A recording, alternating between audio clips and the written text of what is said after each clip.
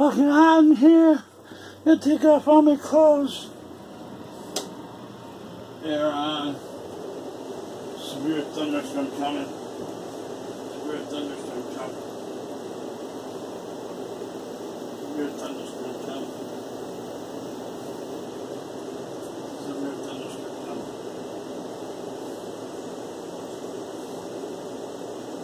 Severe thunderstorm coming. Severe thunderstorm coming. Oh, boy. It's fucking hot. Hot in here. I just got straight home from work. Check the car completely bone dry. Bone dry completely. Overheater completely empty. I even squeezed the bottom hose. Empty. It's, it's gotta be burning out the manifold or something, I don't know. It's completely empty. Completely empty.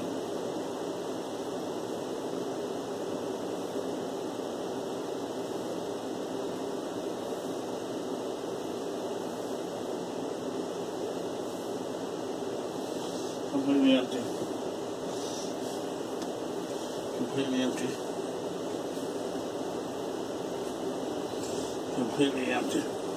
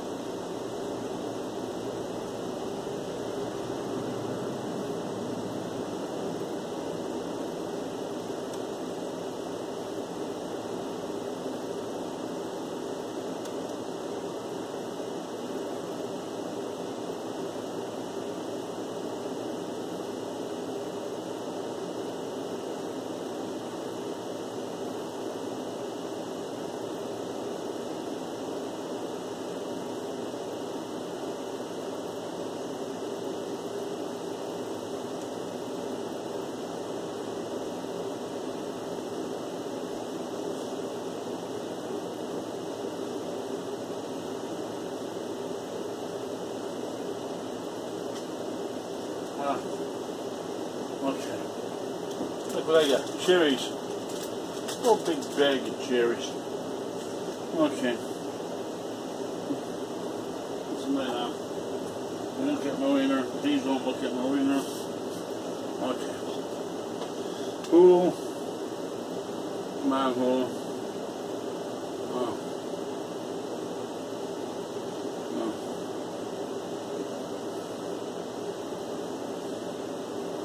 I'm ready to pass on. I'm gonna give me some fucking cherries. Cherries for dinner. How about that, huh? Uh, the day before was a pineapple for dinner. Last night was ice cream for dinner. Today's gonna be cherries. Cherries for dinner. How's that song, huh? Cherries for dinner. Send me cherries I can eat before I blast them out my ass. I think I, I haven't haven't had the chips and the cherries. Not lately.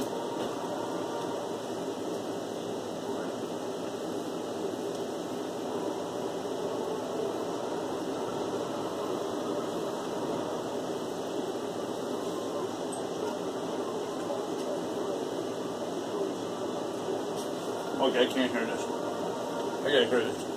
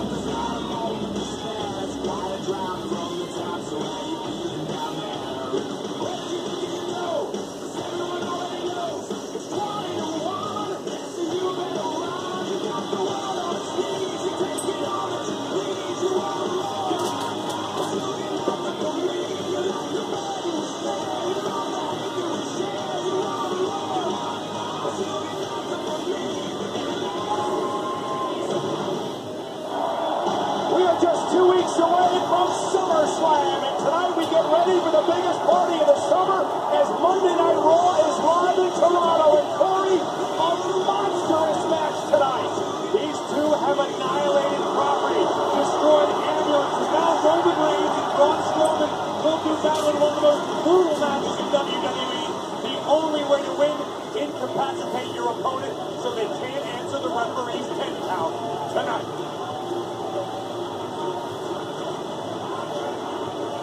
Ladies and gentlemen, please welcome the Reed, the Miztourage, and the Miz.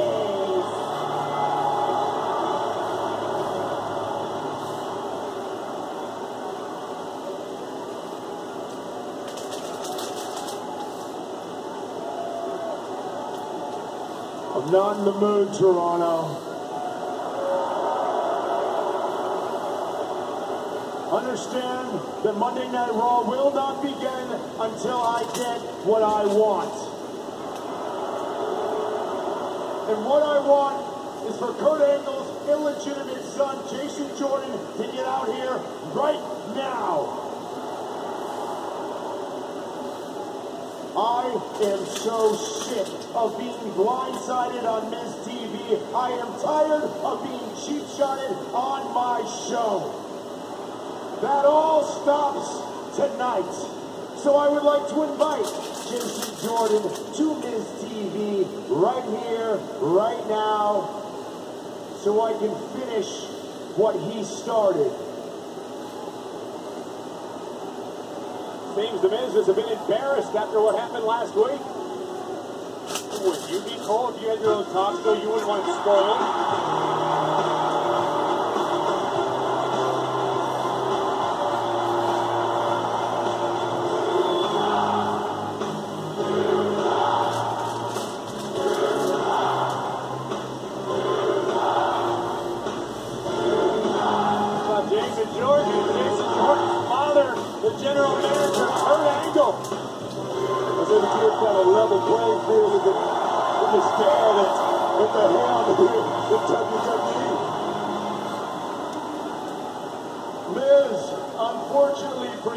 My son Jason Jordan will not be a guest on your show tonight. However, there's someone here that has questions that needs to be answered. I have secured a guest for you that will meet and exceed Miz TV standards. Oh, it's true. It's damn true.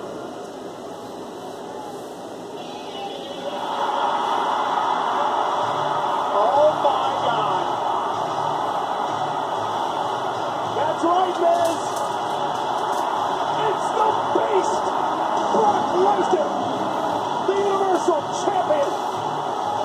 Well, there's got to be some sort of repercussion for Jason Jordan ruining his TV last week. Well, Corey, before you get ahead of yourself here, Brock Lesnar was scheduled to appear tonight here live on Monday Night Raw. And on a Facebook Live interview earlier today, Paul Heyman said that they had a lot to get off their chest and they were going to visit the WWE Universe sooner rather than later.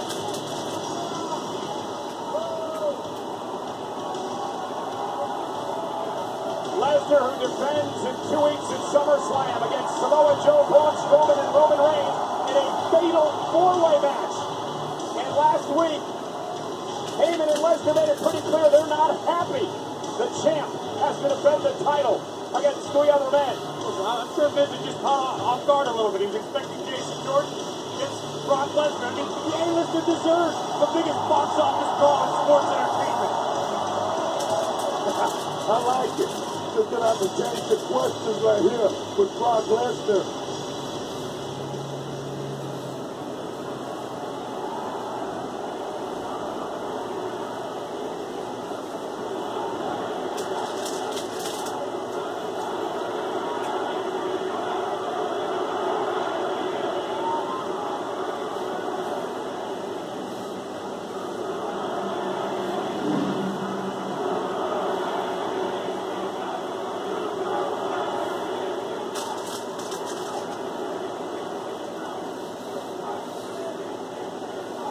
When my hand goes up, your mouth goes shut, Paul.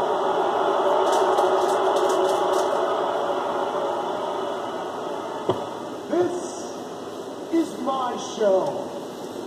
So I run things around here. So let me get this straight.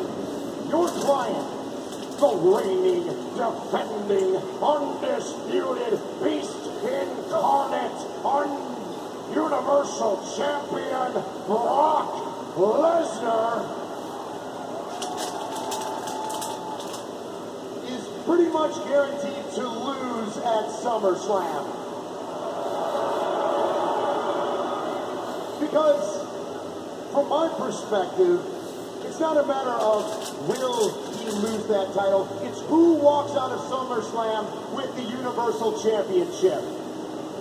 Because he doesn't even have to be involved in the finish to lose his title. It's kind of all your fault, isn't it, Paul? I mean, there is almost an unprecedented situation where we all know that we are going to see an unbeatable champion walk out of that match an ex-champion. But then what happens? I'll tell you what happens because you said it, Mr. Heyman, and I'll paraphrase you. I'll paraphrase you better than you said it yourself. You said that if he loses at SummerSlam in Brooklyn, that you and him will leave WWE. And I'll, and I'll tell you what, I'll tell you what, if I'm a gambling man, and I'm picking my next co-star to a movie, and I want him to be a champion, I'm putting my money on Roman Reigns.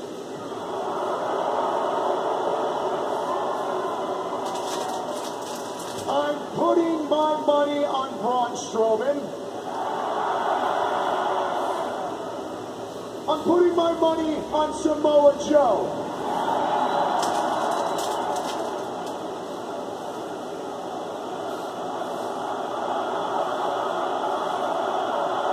Because one of them, Paul, one of them are walking out of SummerSlam the Universal Champion.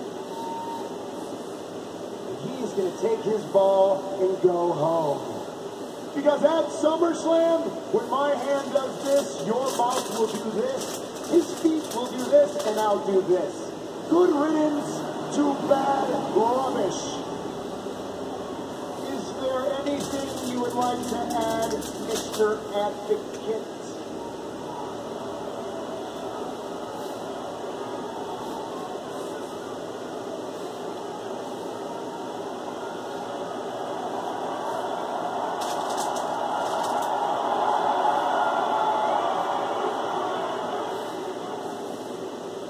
Ladies and gentlemen, after being put in my place by, by the Miz, I, I humbly inform you that my name is Paul Heyman.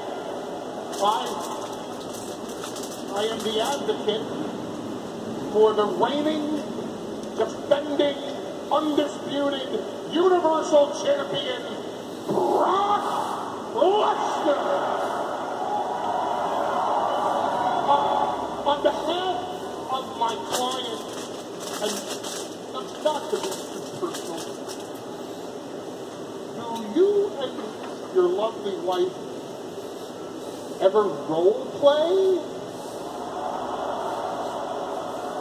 because I'm all about the role play. So let's let's let's have a, a little role play here. Uh, you, you're Roman Reigns. And you, look at you all ready to fight. Your fists clenched and everything. You, you're so intense. You're Samoa Joe. Huh.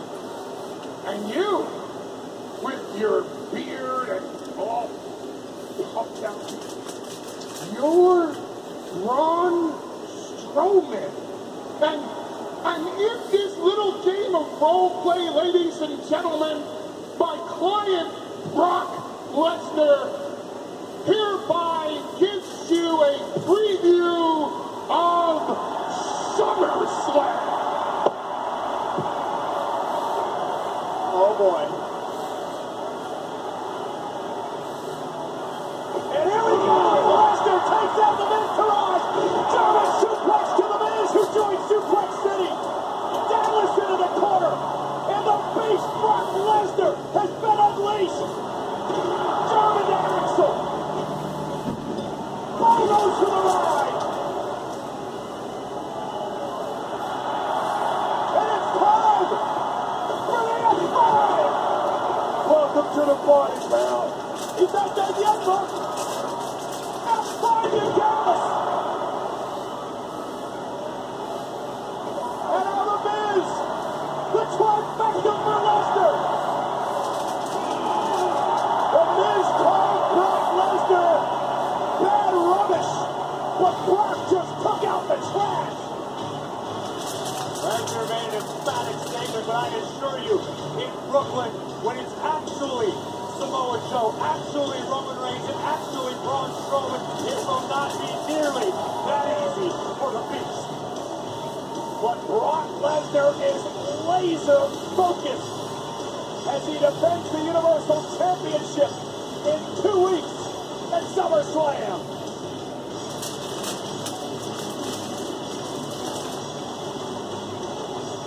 Hollywood hasn't seen that many F5 since Sharknado.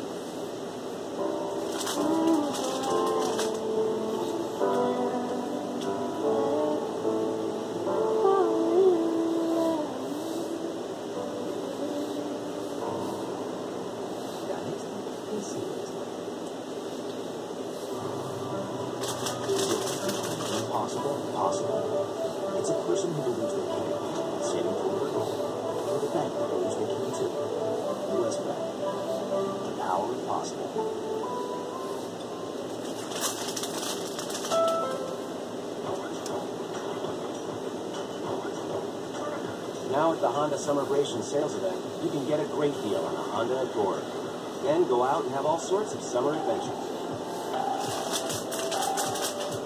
A summer of fun awaits at the Honda Summerbration sales event. Hurry in and get a great deal on a Honda Accord from KBB.com's best value brand. Today at your local Honda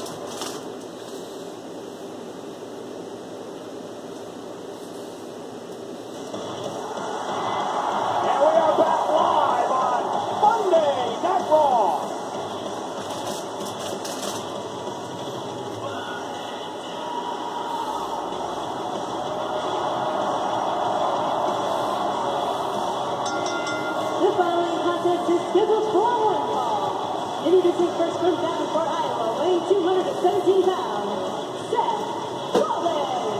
Rollins to go one-on-one time with Sheamus. Let's take it back to last week. Sheamus got personal with verbal attacks Rollins, so Rollins made the challenge.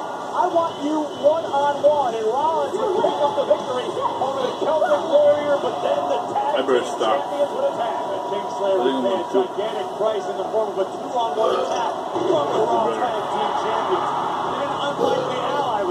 would No, emerge. it's a Yeah, lot Dean. Ambrose would come to Seth Rollins' aid despite the fact he said he was never going to trust Seth Rollins again after Rollins stabbed him in the back three years ago with the Shield.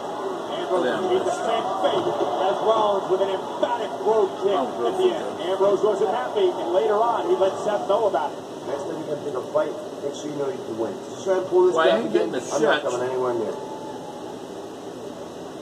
Try it again. So I believe my body needs